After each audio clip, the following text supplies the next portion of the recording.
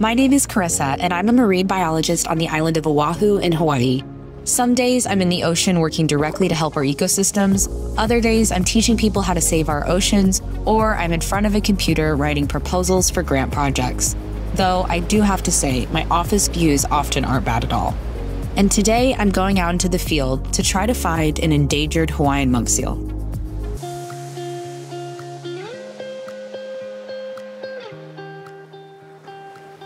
I knew I wanted to become a marine biologist ever since I was 16 years old. I watched a powerful documentary called The Cove. It opened my eyes to how dolphins are sold to the entertainment industry and are forced to live in captivity. Ever since I watched that film, I knew that I wanted to dedicate my life to help protect the ocean.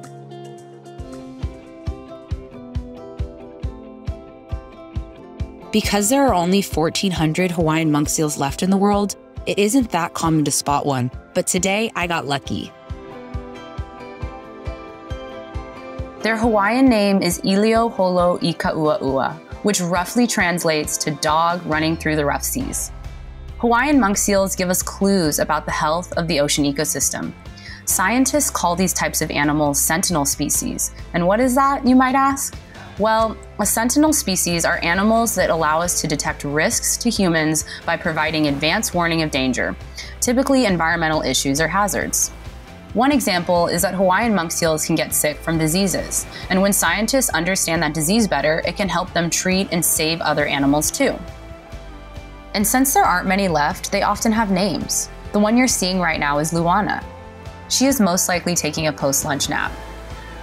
For monk seals, rest is important because she's probably been out hunting all night, burning tons of energy. Every piece of information we can gather about a Hawaiian monk seal can help add to our understanding of the species. And that's why when I found Luana today, I recorded everything I could her behavior, her scars, and her size.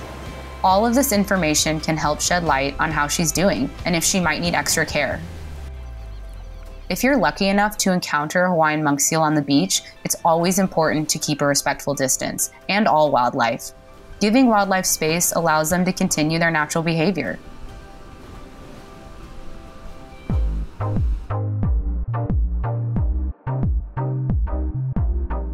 After a morning of exploring, I'm off to a cafe, appropriately named the Solar Shack, because it's entirely powered by the solar panels on their roof.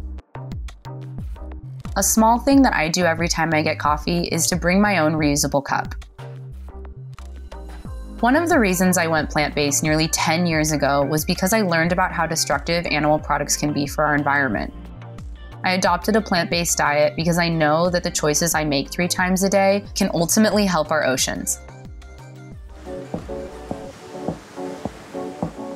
The most challenging part of my day as a marine biologist is knowing how much danger the ocean is in right now. It's threatened with climate change and rising temperatures and pollution. But I wake up every morning excited to do my job because I truly love marine biology and I want to make a difference. And one of the best parts of my job is being able to teach people about the ocean, whether that's to preschoolers or people in a retirement community there's not really disagreement in the science community, and we really need to communicate conservation to everybody else and get them on board with saving the ocean. So I started a company called the Conservationist Collective last year to help use educational media to save our oceans. The changes I want to see in my field are for more women and people of color to get involved. It would be great to see more funding go towards ocean conservation too. After all, the ocean is what regulates our climate, and it's one of the most powerful solutions we have to make changes. The best way that you can get engaged with marine biology is to think about your unique, amazing gifts and skill set and use those to help our ocean. Maybe you're a photographer, a videographer, or a writer. These are all such important skills to help communicate the broader message about our oceans. What keeps me motivated is all the conversations I hear every day about people wanting to help the planet and our oceans. The next generation is super inspired and empowered to take action, and that gives me a lot of hope for the future.